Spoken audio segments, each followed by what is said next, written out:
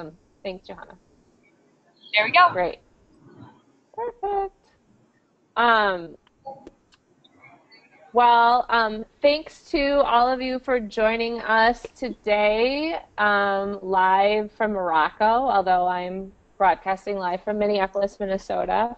Um, we're really excited to, to share with all of you an update um, from our delegation of um, young people and educators that are at um, COP22 in Morocco and um, to hear a little bit about what's going on there and also um, to really hear how um, the U.S. election has maybe impacted things and um, the direction of COP in general. Just to, to kick things off, my name is Kristen Poppleton. I'm the Director of Education for Climate Generation and Will Steger Legacy. Um, we're a nonprofit that's based in the uh, Twin Cities, um, Minnesota, and um, we have been focused on um, climate change education and outreach now for over 10 years and have um, been involved with taking folks to the international climate negotiations um, starting back at COP15 in Copenhagen.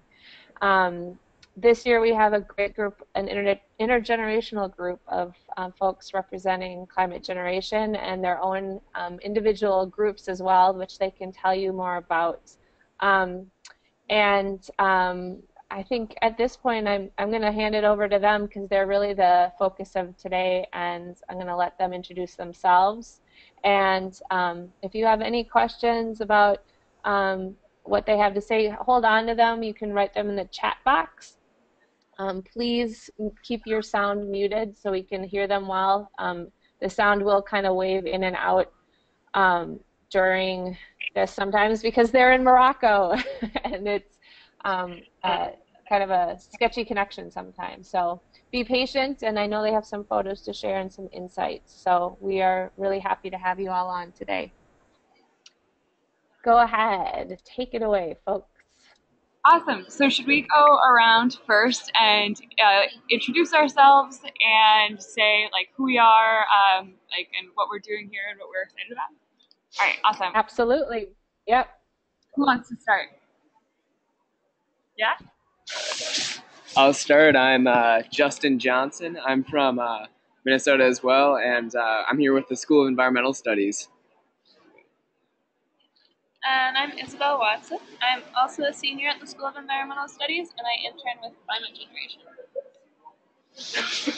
Hello, my name is Siri Vigalki, and I am a member of the Climate Generation delegation here at COP22. Um, I was a member as well back at COP18 held in Doha. And yeah, I'm doing a number of things for climate generation here, um, which I guess we'll get into later.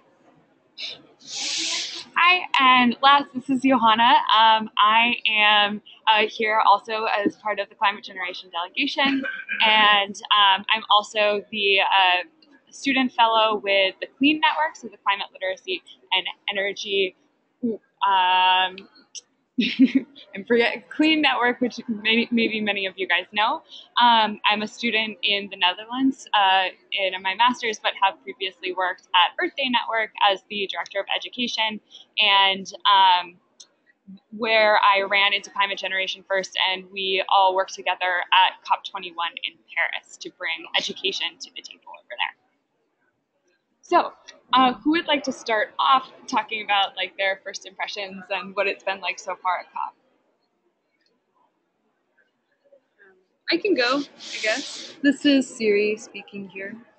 Um, so this year I have a couple of objectives um, that I'm trying to fulfill at COP22. Um, as a member of Climate Generation, I've been um, doing some writing, some blogging to talk about the main points of the negotiations here, the agenda items, as a follow up to the Paris Agreement from last year.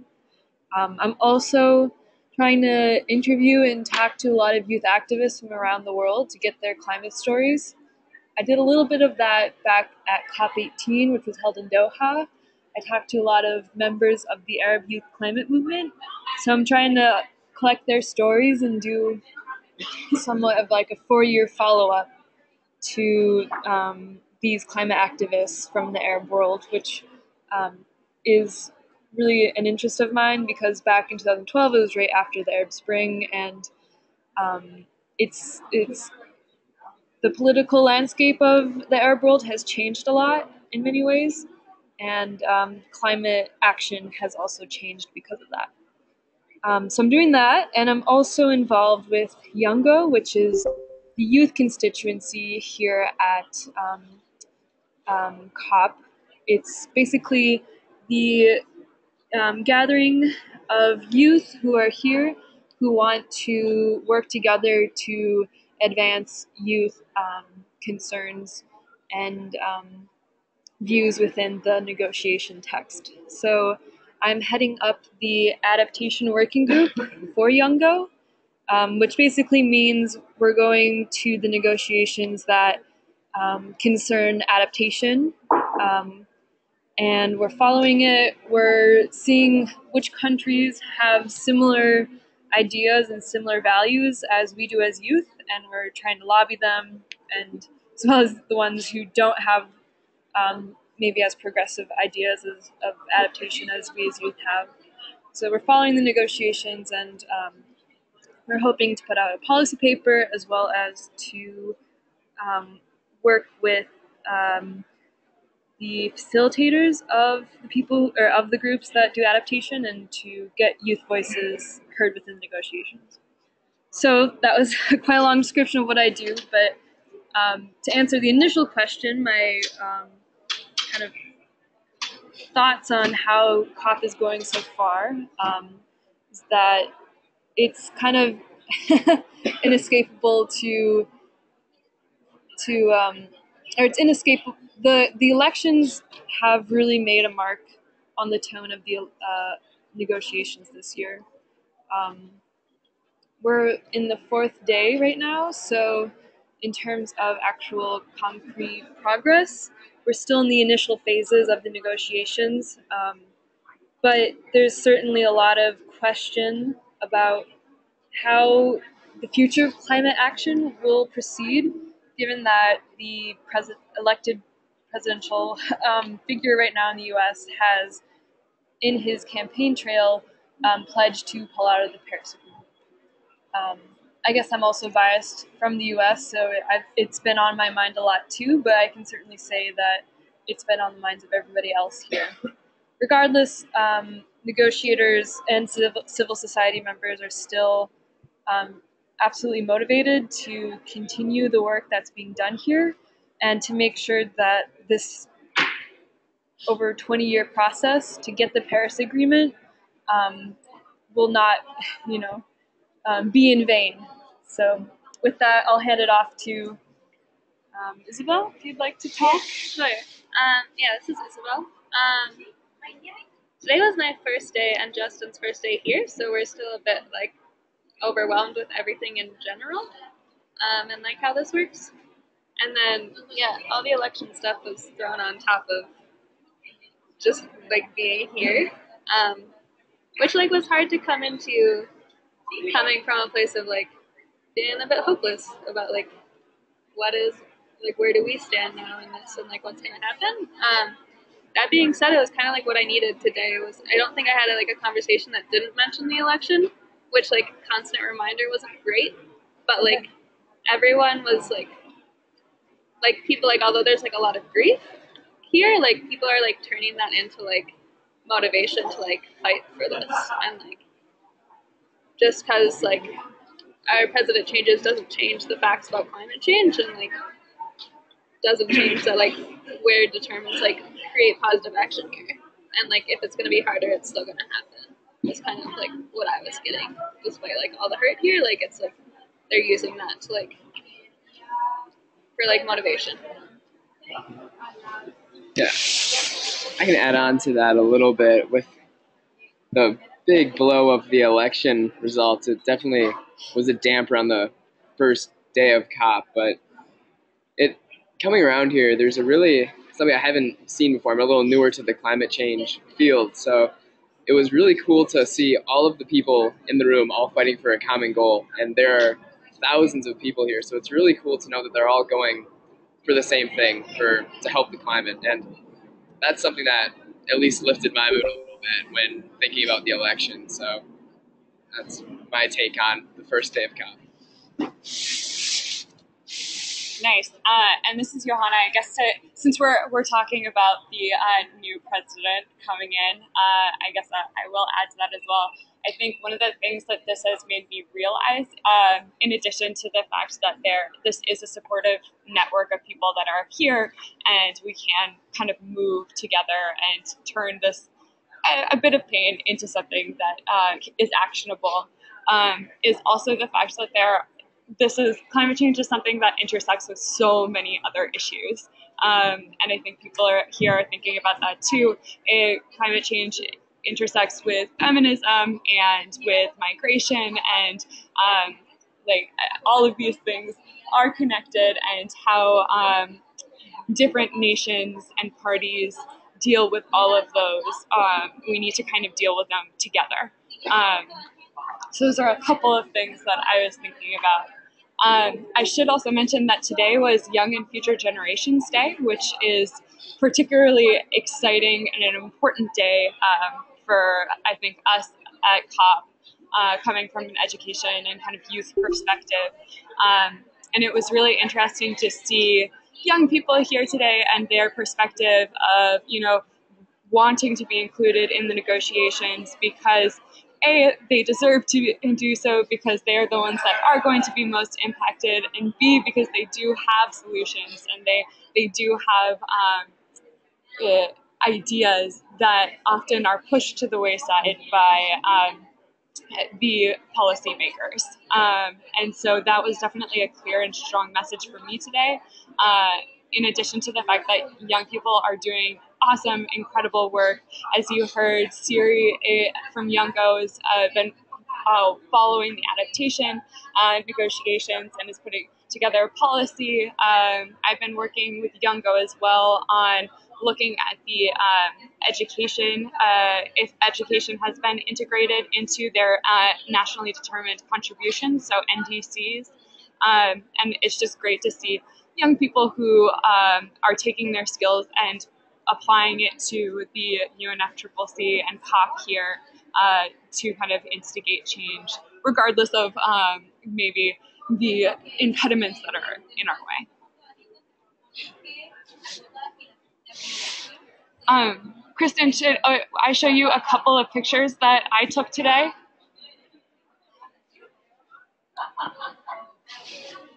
Yeah, that sounds great. Go ahead and share some photos out. Okay, so I have not edited any of these in the least. So I can you guys see my screen?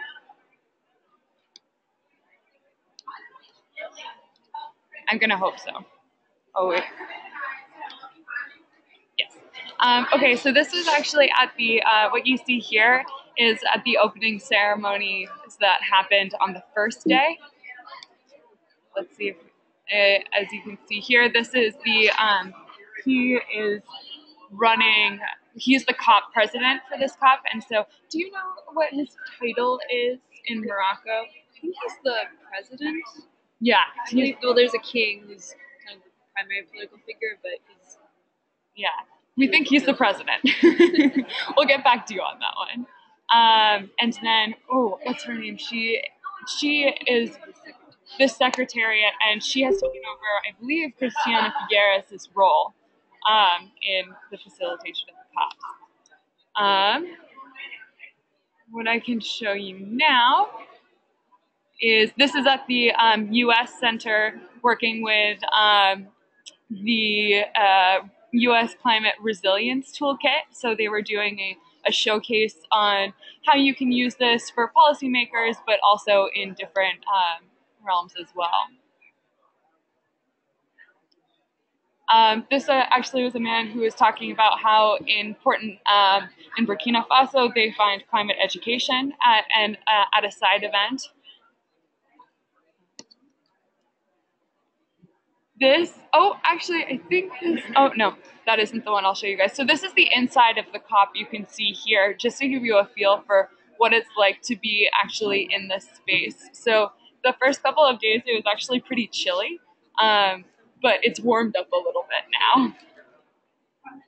Um, and then here today, uh, was an action. So often throughout the COP, you'll see actions, and there was actually one yesterday also um, on the U.S. election that was put on by youth, which I know Siri went to, and maybe can um, talk a little bit about in a second. Um, this one was done today, and it was really about um, providing youth the space to have um, influence upon uh, the negotiations. So those are just a couple of uh, pictures that I've pulled together throughout the day and the past couple of days uh, to give you a sense and feeling for what's going on and what it actually looks like here. Siri, do you want to? Say, Johanna, or, or could one of you um, talk a little bit about? I know when I was there last year, this idea of these actions was a new thing for me, like that they're sanctioned, but they're people standing up. Like, could you talk a little bit more, explain what that is, if there are folks on the call that don't know what that's about? Sure. Siri, do you want to take that question? Um, sure.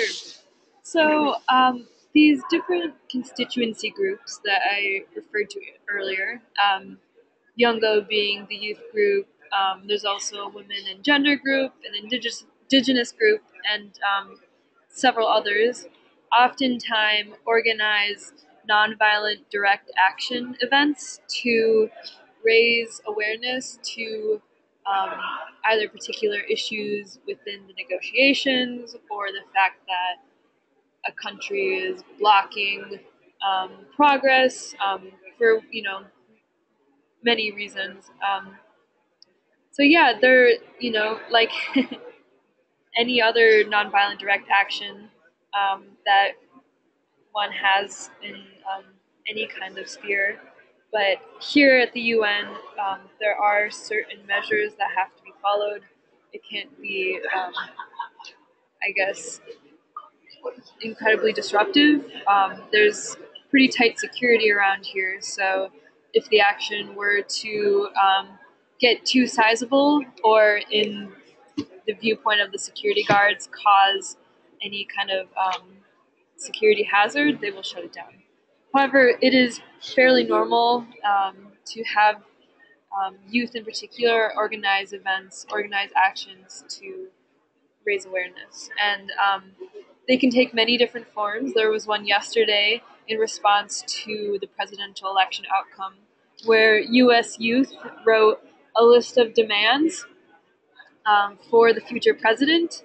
And given the outcome, um, they kind of crossed off president on the top of this um, long sheet of paper that they had that listed the demands and wrote um, people because um, just given Donald Trump's track record um, against climate action, they decided that it's really up to everybody now to hold the government, to hold the U.S. accountable for strong climate action.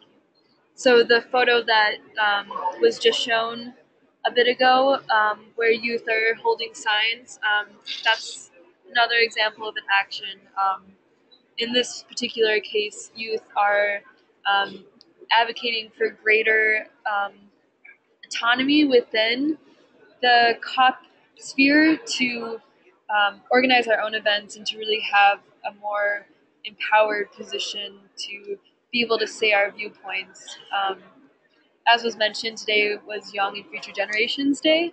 Um, however, there was some um, kind of sense of disappointment on how that was handled because um, the Secretariat or the the um, basically the body, the United Nations Framework Convention on Climate Change um, uh, group, kind of approached Youngo yesterday and said, "All right, tomorrow is Young and Future Generation Day. Here's the schedule. Here's what's going to happen." And many of you were like, "Wait, whoa, hold up! Um, shouldn't we be organizing this? If we're the youth activists, if we're the, the young people here at COP?" Um, it it felt um, like the secretariat was kind of um, impeding on our autonomy as a group here at COP. So that was the reason for that action.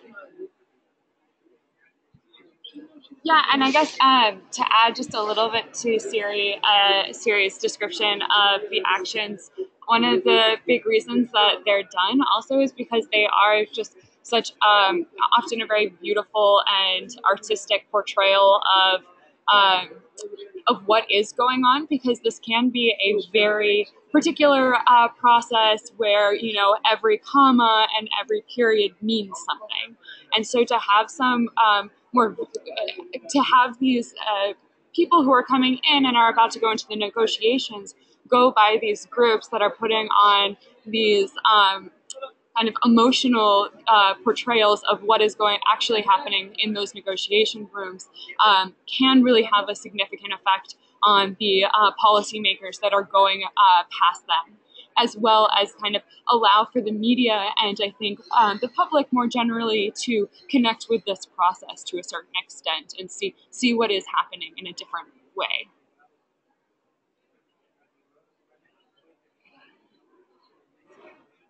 Uh, so I guess I think the best thing to do now, but Kristen, correct me if I'm wrong, is to maybe ask if there are questions about what we've been up to or like what we're expecting. Yeah, and I have some written down myself if other people don't, but feel free to either write in the chat box or um, unmute yourself by clicking on the microphone under the word audio. Um, if you have a question, does anyone out there have one?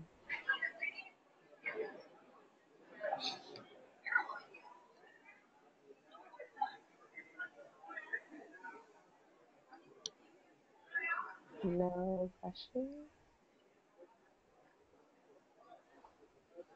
All right, well, I'm going to ask one since no one else is so far, and we'll see if any kind of come out.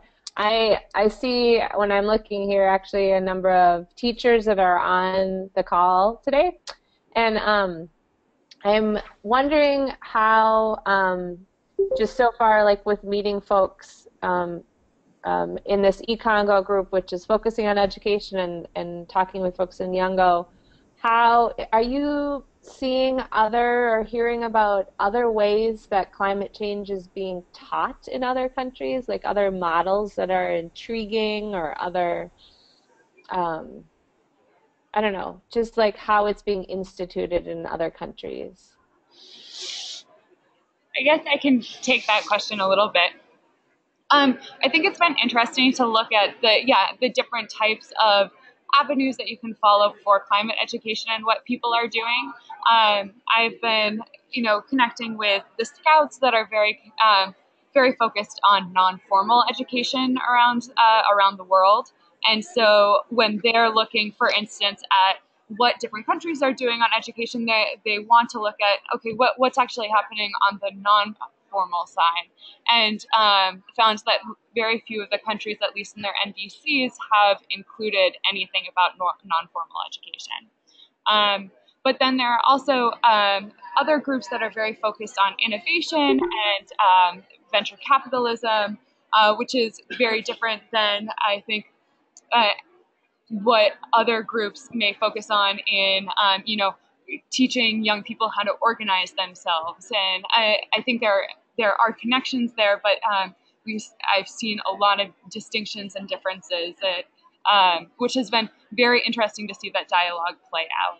Um, I ran into a woman today who is uh, based out of Costa Rica, and she is, has been really interested in okay, how do I take what I've learned? She studied in Toronto first, like how do I take what I've learned there about climate change and then apply it to this new place and um, still give the con- uh, give the community context for um, what a energy transition looks like. So she was really grappling with that issue and was looking for at, at COP, looking for other people who are in the climate education world and space for uh, advice and understanding. So I thought that was really interesting and something that could be um, as eCongo, which is this new group, um, as it grows, can um, actually facilitate that t- type of discussion and give people like this ideas of uh, different ways to educate um,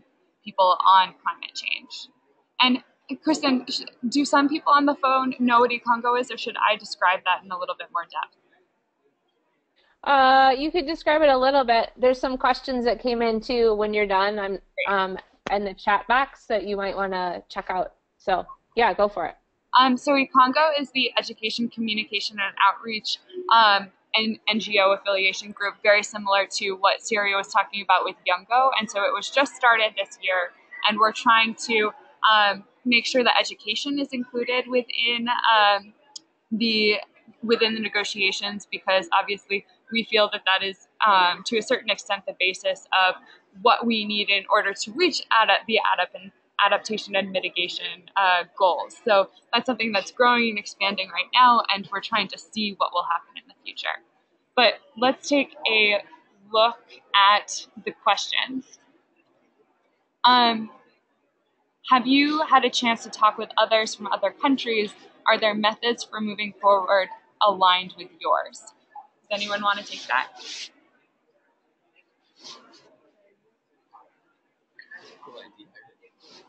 Yeah, you. Uh, so you heard a cool idea from Yeah. another country? Awesome.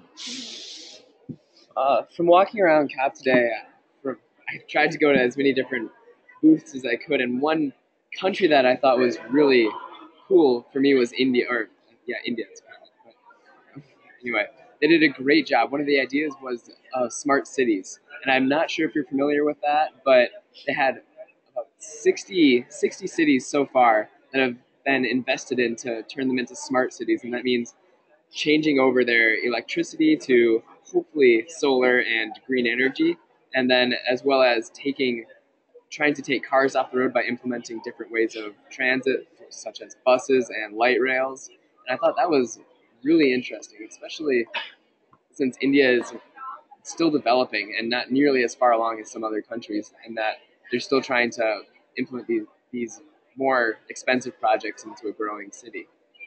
There's about 100 different cities they've chosen for this so far, and so 60 have been worked on. That was the idea I today. Uh, yeah, I guess to kind of try and answer your question, I think yes. I think a lot of the, um, we, or I went to a session on like fossil fuels today, and I think that they there was the panel was um, six people from countries primarily like as like similar to the U.S. in terms of development, um, and they were all talking about ways that like I mean, we have like the same goal that we're going for because it's about like maintaining like a habitable habitable planet. Um, so they were talking about like strategies that they're all like have been proven to work everywhere, but obviously not every strategy is that way. But there are definitely like methods that people are trying to talk to each other about to achieve like the same goal. Um, I can say something um, concerning that. Um, I've, as I mentioned, I have been interviewing some youth activists um, from different countries, and I spoke to a woman, um, young woman, two days ago from Lebanon. And um, in terms of methods for um, climate education, or just even for addressing climate change, um, it sounds like they're doing a lot of the same things we're doing as young activists in the US. Um, she just started the chapter of the Arab Youth Climate Movement in Beirut um, and has been working on um, a number of different campaigns, um, mainly out of Beirut, to uh, raise, raise awareness about climate impacts in the Middle East and in the Levant specifically. Um, she's been trying to build the capacity of this group so that they can reach out to even more groups. Um, she told me that all five members of the board are women, which is really cool for me to hear. Yeah, and um, you know, I think it's yeah, they're they're moving forward in a very similar way, um, but just given kind of the technical realities of um, organizing in Beirut, um, they're also using different approaches. Um, they've talked a lot to um, women in specific in women organizations about um, climate change and the adverse impacts that um, women in the Middle East in, uh, feel from climate change. Um, just because women are typically the ones who are reliant on resources, and um, because now temperatures are changing, they're fluctuating much more rapidly. Um, the agricultural system of the Middle East is really um, changing as well.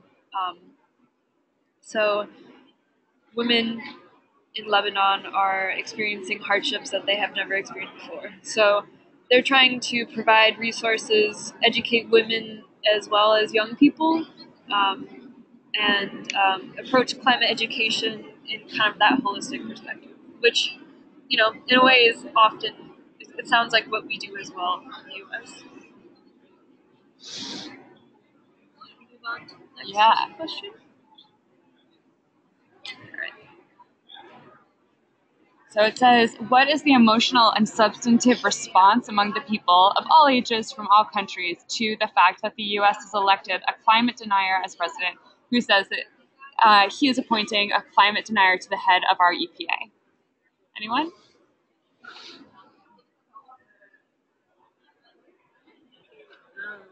I, I guess um, one of the things I could say is um, there are definitely emotional responses to um, this in particular, and even just watching, I I watched the elections alongside um, I think four New Zealanders, and they were almost they were so very supportive of us as we were going through this, but also were feeling it themselves as well because they recognized that um, there were ramifications uh, beyond just the United States. They were willing to give us uh, maybe an apartment over in New Zealand to uh, escape the madness, but uh, I think they also realized that we also we need to be home and we also need to work on this to make sure that climate denialism does not take over um, the U.S. and become as pervasive as it once was.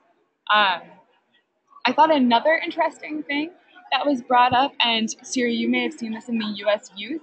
Um, they were talking about the fact that it, it was a the U.S. youth were trying to put together a press conference about the fact that this did happen. Um, and then one really interesting comment that was made was, you know, um, the U.S. has like very significant implications, but we also can't forget to recognize that there are um, other nations that have been going through much worse and are already impacted in such a significant way. Um, is it right for us to focus so greatly on the United States? So I thought that was just an interesting thing to ponder and think about as we move forward. Um, yeah, from a youth perspective, I think many of the people here from around the world are just as upset as U.S. youth are by the results. Um, maybe even a little more so. Well, I don't know. I think equally because um, just given the reality that the U.S. is the global hegemonic power currently, um, whatever actions the U.S. takes um, will be resounding not only just politically but um, emotionally here at COP. Um, at the same time, I think there's this resolve to just continue the fight. Um, and I think people realize that, you know, Donald Trump is one man.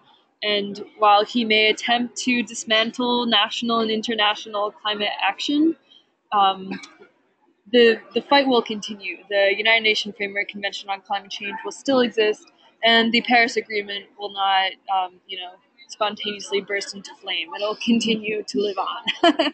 so, um, yeah, people are certainly upset, um, but they're willing to continue the fight. And I mean, not only willing, but they see it as necessary.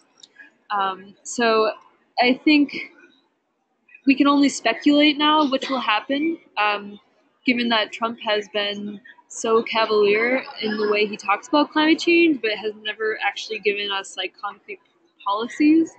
Um, he's talked about pulling out of the Paris Agreement, um, but because the U.S. is currently a signatory, we can't actually get out of it until um, another three years from now. Um, however, there are ways around that.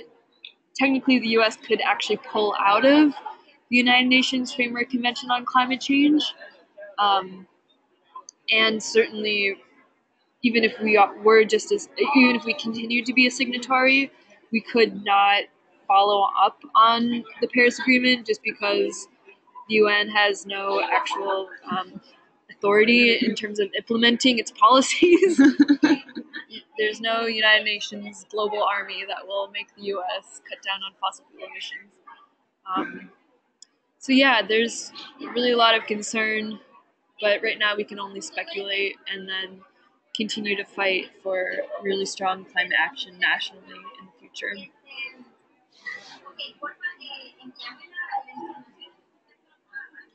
Um, another question that was given was Is climate change being taught in schools in other countries? In what grades do they begin? Um, does anyone want to answer that? Does anyone run into that in their, you know, you guys have been here for a day? No. Okay. this might be. So, um, I guess as I was mentioning before, uh, I've been working with the Action for Climate Empowerment group from Youngo and it's been really interesting to see um, where the nationally determined uh, contributions, uh, if they do include education, where they, um, in what states they are, or excuse me, in what uh, parties they are. Uh, for instance, Europe, Australia, the United States, uh, India, and Brazil, so pretty major economies, none of them have any mention of um, education in their NDC. But then looking at places like Kiribati um, and um, Algeria, um, Seychelles, and um, quite a few uh, small island states and African states have um, pretty relatively um, integrated action plans for education in their NDC, which I was really surprised by that that was that was where they had focus um, is on this public awareness, awareness, engagement, and capacity building. They saw that as really key to what they were trying to accomplish in their uh, in their countries. Um, I'll also add that historically, education has not been a big priority within the negotiations. Um, although it was part of the original um, document to come out of the 1992 Rio Earth Summit. Um, Article 6 was kind of the original um, like environmental education component of um, like sustainable development or the Convention on Climate Change. Um, but I think in the last 20 years, it's just not been a big emphasis of countries here at COP. Um, but the Paris Agreement has changed that, and um, although there's still a lot of work to be done, um, it at least is becoming more of a priority for a lot of countries. For the two of you guys that just got here, um, do you guys have any ideas of like what you want to do in the next week or so that you're here? and also, um, to add to that, I was thinking it might be interesting for people just to hear how you prepared you SES students to come here in the first place, like like a background on like SES is a public school in Minnesota, and I don't know, how did you prepare to to get here in the first place? Yeah. So the preparation was it was we had a very broad range of what we could do to prepare. So for for us, we were given a list of websites that we could go to, such as uh, the UN COP website that lays out for us modules for that we can go through and read. I think there, there in total there's six of them, and you can take those courses and then get a little certificate that shows you went through them, and that that was great. I did a few of those modules, and I got a lot of information out of them. And then we, there's also on top of that PowerPoints uh, on the Prezi website that you can go to, and get more information on what happened in the Paris Agreement, what happened um, in the last few COPs, and I'm blanking on some of the other information. But mostly just websites that we can go to to look up other information. Yeah, this was um, usually the SES students that go to COP. They've been doing this since Last two years. a few years. Um. Um, yeah, usually there's a class, but this year we didn't get to have a class on it, so we were kind of Independent learning. Yeah. yeah. And then we also, um, because we do have kind of a unique school, um, we are doing a presentation at the American School of Marrakesh tomorrow for the um, Global Issues Network conference. Um, just and there's gonna be a ton of school, a ton of schools there, kind of talking about like how they're doing this type of stuff in their own school, um, and presenting to schools who like want to get involved but don't really know where to start or like are very new to this. So that's like a cool thing to be a part of is like spreading that education piece of it, even if it's not formal, but like what can school clubs do and stuff like that.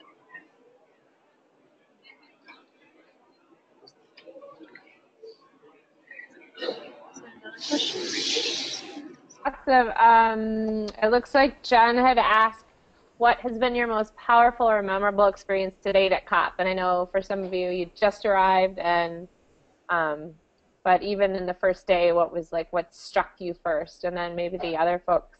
It's kind of a nice way to um, end things too. So, and then she also said, what has been the most challenging, which is actually a really good question too.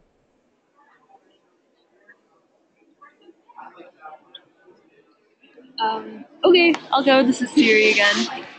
Um, I guess the most powerful experience for me is always meeting other youth from around the world and hearing their climate stories at home. I was so inspired by this woman from um, Lebanon and just hearing her story of creating a chapter of the Arab Youth Climate Movement in Beirut and hearing that all five of the board members are women. Um, that was the most powerful experience for me thus far.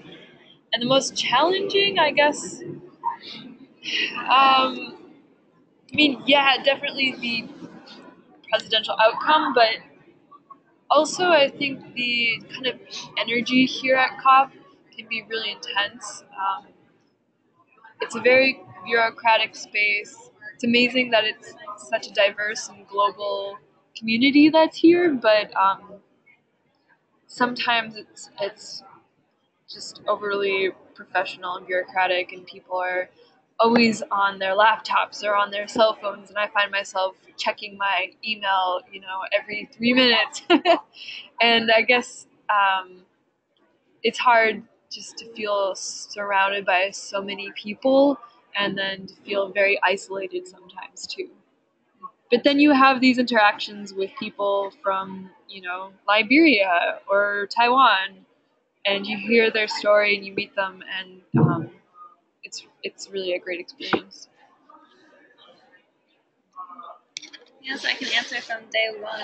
Um, yeah, mine's kind of similar in terms of like powerful is like just like all the people that you're gonna talk to here, like from all over doing all different things, and like hearing why they're here is like really powerful to just like know why all these people are here. Yeah, like they all have diverse backgrounds, but they're all here like for the same goal. Um, challenging was definitely like just like I don't know, my first day like it was like overwhelming at the beginning because I didn't know what to expect, and then also with the election stuff, like just those two things combined was like hard right at the beginning. I didn't know anything. Um, yeah. Right. Um, this is Justin again. My most memorable moment from day one was talking to a man named Tom, who was amazing to talk to. The reason he was memorable is because he made a a bobber or that goes out in the ocean, and then there's about four thousand of them right now, and it can measure pH levels, nitrogen nitrogen levels, and CO two levels. But that was cool. But what his what made him memorable is his passion. He really had just great passion what he was doing. He believed in it, and it gave gave me at least a lot of hope for the future, or that there's people out there like this that are creating great things that that I I can't. I'm not a inventor, but to know people are really gives you hope. And then the challenge, my biggest challenge was like the rest of them is just emotionally. It, you go on a, it's just it's a whirlwind of emotions. You go from one conference and you're super excited because you feel hope from that conference, and then you go to another conference and it's very scary st- statistics that just kind of bring you down, and it's just handling all of that, and then the election on top of that, which makes it even more challenging at that point. That's my overview. Most memorable. These are very hard questions, um, but important ones to reflect upon our time here so far. Um, I think actually something that was really memorable to me was at, outside of the COP walls, but at dinner yesterday with a band of um, Canadians that have been working on these issues for a very long time. And them talking about, okay, well, in the context of the um, negotiations and, you know, administrations coming in and out, like it takes us a really long time, but we are resilient when things may not go the way that we want them to. I think like Trump, and that obviously I have lived my entire life in a pretty um, divided, uh, politically divided uh, time, and to recognize that still it's hard, but things can get done um, was I think something important for me to learn while I was here. Um, most challenging, I think, for me is there's a lot that's going on here and there are a lot of people doing incredible incredible work. And so it's almost like uh, am i contributing enough? Am i giving my all? Is this could what else could i be doing right now that would have even more impact? Because this is high stakes. Um, so i think that like coming to grips with like how you take care of yourself and also put as much as you can into the time that you have here